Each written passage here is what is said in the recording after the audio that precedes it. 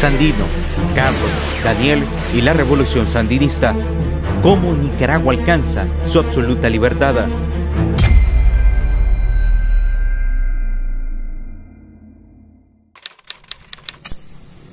Nicaragua es una colonia con siglos de explotación extranjera, dominada por oligarcas que responden a intereses foráneos y a los intereses de su clase social. Los campesinos son desangrados, explotados y expropiados por las grandes transnacionales de Estados Unidos. El águila devora su derecho a la tierra, un pueblo consumido por la miseria, el analfabetismo, la opresión y el hambre. En 1926, Mientras los liberales y conservadores luchan por el poder en el país, Nicaragua oscurece. Los infantes de la Marina Yankee ejecutan una invasión. Garantizar los intereses en el territorio explotado es su prioridad. Como salvajes, apresuran actos despiadados contra obreros y campesinos. Mismas acciones desencadenan una nueva expresión de heroísmo en la historia de Nicaragua, el nacimiento de la luz y la verdad. El general Augusto C. Sandino. El valiente Sandino, junto a un pequeño ejército de hombres y mujeres, conocido como Ejército Defensor de la Soberanía Nacional, encabeza la lucha armada contra la intervención del monstruo norteamericano desde 1927 a 1933. El pequeño gigante logra la expulsión de los yanquis y hereda una esperanza a los pueblos oprimidos del mundo. Sandino se ha defendido, empuñado de gente, dice que morirá, pero que nunca se vende. A Sandino lo han perseguido por el aire, tierra y agua, y con orgullo ha defendido a su patria Nicaragua.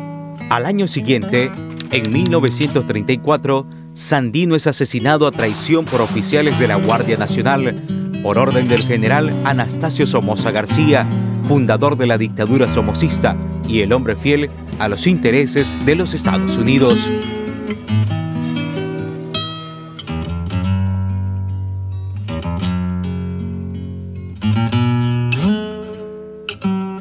Los oligarcas celebran, el pueblo llora. Mientras crece la riqueza para pocos, aumenta la miseria para muchos. Somoza García acribilla la carne de obreros y campesinos por los siguientes 22 años.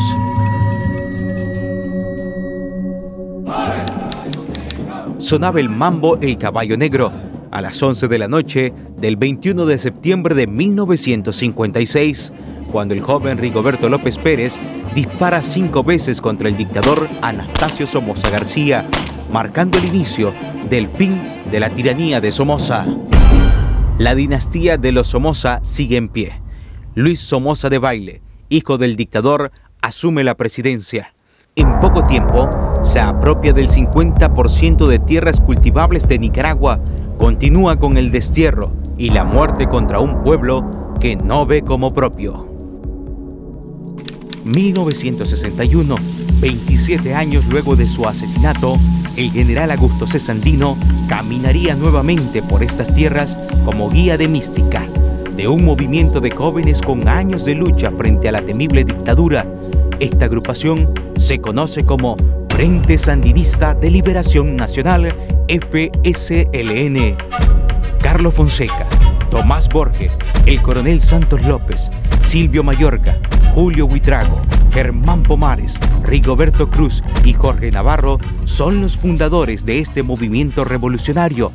En 1963 se integra al FSLN un joven de la Libertad Chontales, quien desde los 14 años había luchado contra las injusticias de la dictadura. Su nombre, Daniel Ortega Saavedra. Desde los campamentos en las montañas sueñan con ver una patria libre, con niños en las escuelas, sin analfabetismo, con derecho a la tierra para que provea los alimentos, con soberanía, vida y libertad. En 1967 asume la dictadura Anastasio Somoza de Baile, el hijo menor del dictador ajusticiado. Todo es tan desolador, Nicaragua no soporta la miseria, la riqueza de los cultivos como el algodón, el banano o el café quedaban en manos de una sola familia, un granero particular. Pero el FSLN está dispuesto a luchar, intensifica los operativos para derrocar a Somoza, da golpes certeros que hacen temblar a la dictadura. En el año 1974 realizan el asalto a la casa de Chema Castillo, un alto funcionario de la genocida dictadura, un sagaz operativo que logra la liberación de presos políticos que eran torturados en las mazmorras somocistas y la divulgación en medios de comunicación del mensaje libertario del Frente Sandinista. Es un éxito rotundo, pues. Aceptó lo que más necesitábamos nosotros, que era la publicación. Y nos, y nos entregan a los 16 presos. Entre ellos hay dos compañeros miembros de Dirección Nacional. El operativo es dirigido por Eduardo Contreras. Pero una terrible noticia golpea al sandinismo en 1976. La Guardia Somocista asesina a Carlos Fonseca Amador, el líder del FSLN.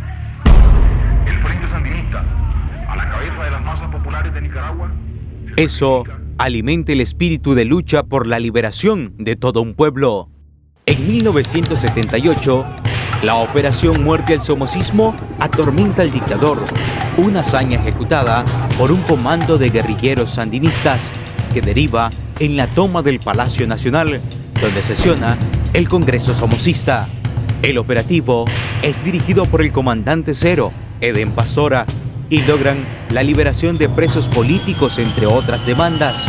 El FSLN se conoce a nivel internacional.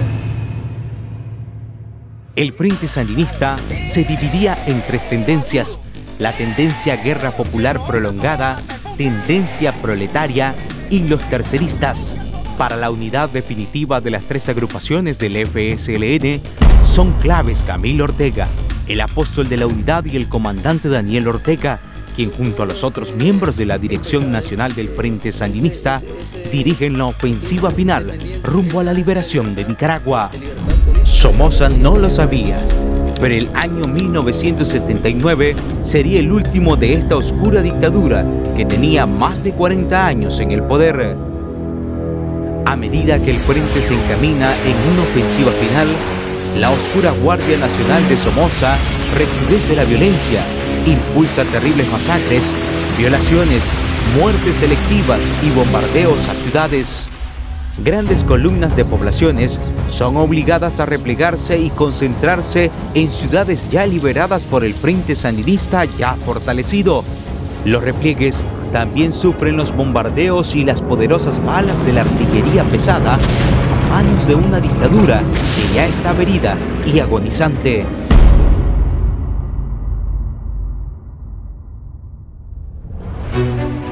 A pesar del despiadado genocidio de Somoza, el pueblo pierde el temor de enfrentarlo. Obreros y campesinos junto a guerrilleros avanzan hasta el fin, dejan una estela de libertad en su camino y parecen decididos a derrotar a la dictadura que los había llevado a la penuria por décadas. El somocismo se fue. La guardia está completamente derrotada. La insurrección popular obliga al último de los Somoza a huir del país el 17 de julio de 1979. Ese día es conocido como el Día de la Alegría Nacional. El pueblo continuaba su avance hacia Managua. El 19 de julio de 1979, el Frente Sandinista de Liberación Nacional, liderado por el comandante Daniel Ortega, cumple el sueño de Augusto Cesandino y Carlos Fonseca, los anhelos de un pueblo históricamente oprimido, el triunfo de las clases populares, el triunfo de la revolución popular sandinista.